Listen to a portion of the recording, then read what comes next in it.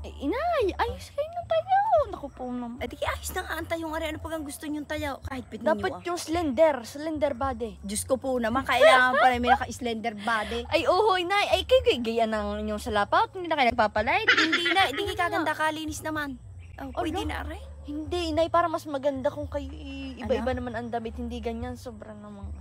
Magbapag, Para pantulog na yan, inay, eh. ari na rin naman iyaw. Yan na, Ala naman ang inay naman. kaligalig nyo rin. Aba, Alay, bahala kayo. kayo kainaman, ligalig ng mga taong ito ho. Kamusta mga anak? Ako ang inyong inay, ang nagmamaganda ninyong inay.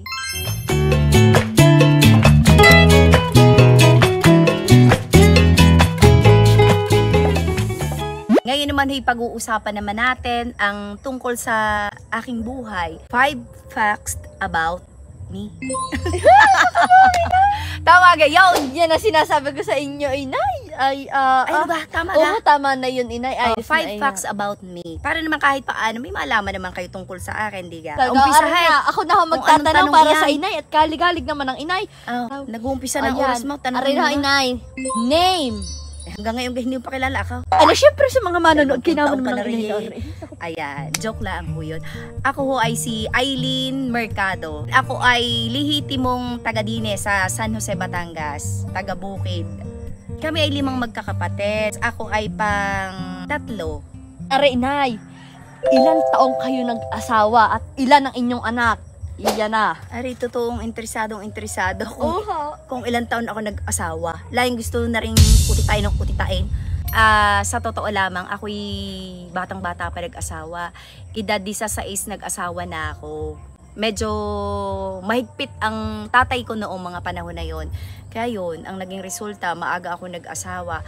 Pero sa mga nanonood yan, yung mga bata pa, wag na wag niyo akong gagayahin. Bagamat naging maganda naman ang buhay ko. Hindi naman napasama ang pag-aasawa ko ng bata pa ako.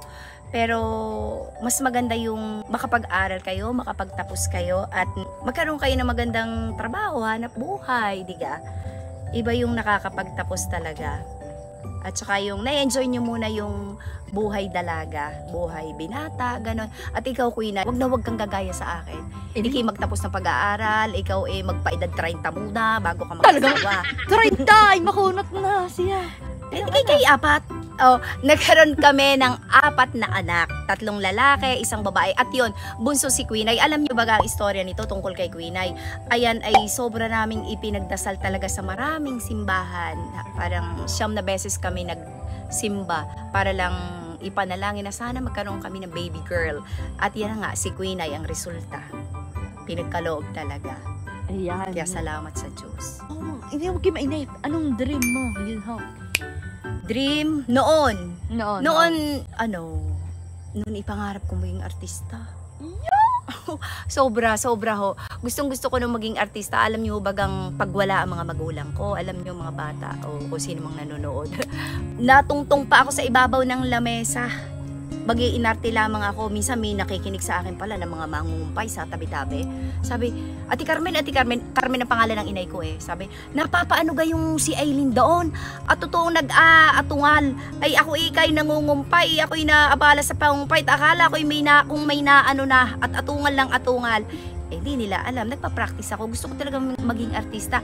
Sa kagustuhan ko maging artista, sumulat pa ako nung kay Inday Badiday. Yun, natatandaan ko. At ako may napansin niya. Kaso, hindi naman ako pinayagan ng tatay ko. Magtapos daw ako ng pag-aaral ko gayon. Ay, hindi rin man natapos at ako'y nag-asawa ng bata pa. Wala na yan. Siya, in-example niya ho.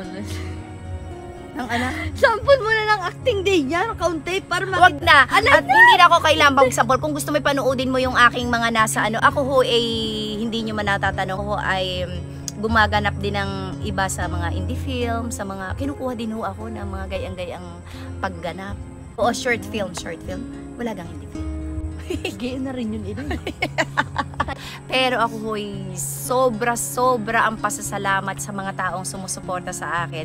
Yung unang-unang araw pa lang na ako'y nag-upload nga ng video ko na ako'y magbablog, sobrang thankful po ako sa inyong lahat. Yung mga taong nasuporta kay Queen ay sa pamilya namin, sa mga anak ko. tas ngayon ako naman yung sinusuportahan. Sobrang salamat. Naku, matutuloy yata ang pag drama ko ngayon pag acting. Parang, Yun! Siya, inay. Sample, sample. Wag na, nakakaya yung, ah, nakakaya. O siya, next Basta question na sobrang inay. thankful po ako sa inyong lahat. Sobra, hindi ko rin naman akalain na ako inyong susuportahan. Oh, kayo na! Naiyak na! Hindi, hindi, hindi. Sample yun. Eh, mahalan siya po din, ay. Bakit naman chupaw? hindi, napapaano Iiyak lang na ako. yan. Ayoko. Iiyak na yan. Hindi, maano lang din ako. Kagaya ko ni Queen ay ah, mababa ang luma. Pero sobrang masaya talaga. Iiyak na yan. Tanungin na! Yan, Hmm. ari na inay, ang huling tanong. Sino ang celebrity crush mo? Tatanong mo pa yan, alam na alam mo naman kung sino. Eh, hindi alam na Magkaagaw natin. ka ho kami ni Queenie sa crush, sa celebrity crush. Ang nag-iisang, sino? Yeah, aba, inay. Sabay. Piolo Pascual. Kaya ako hinayang na hinayang nung si Queen ang inagpunta sa resort ni Piolo. Di ko man lang nakita eh. Kainaman na. Sobrang crush ko yun. Balita kay crush nyo din si Sino? Ian Benaresio. Oo, dahil. Yan, tira ninyo kadabi ninyo crush. Naku po, inay, Oo. siya. Ay siya mga anak, di na muna nagtatapos ang aking munting video na are sa susunod na lamang ulit. Ano, ako'y lubos na nagpapasalamat sa inyong panunood nitong aking video nito na 5 facts about me. Salamat ulit sa inyong lahat at kayo mag-iingat ha. Ano pa ba? Naku, inay. Huwag nyo kakalimutan. I-subscribe o Ay. like. Ayun. Ayun. Huwag niyong kalilimutan na i-like, i-comment, mag-comment kayo, i-share, at i-subscribe ang aking YouTube channel. Ano, maraming maraming salamat sa inyo. Kahirap naman ang garni. Eh, hindi pa naman nga ako sanay maggagarni. Kaya ako inyong pagpapasensyahan ha. Salamat mga anak. Pa-subscribe nyo rin akin. Ay, pa-subscribe na rin daw ng kay Priana, kay Queenay. Iyo. Hindi sa aming dalawa. kay Jaspa. Marami ho eh. Kay Cindy pa, sa aking kapatid. Naku, di lahat nyo na. Basta, maraming maraming salamat ho ulit. Hanggang sa muli mga anak. Ingat kayo. Salamat.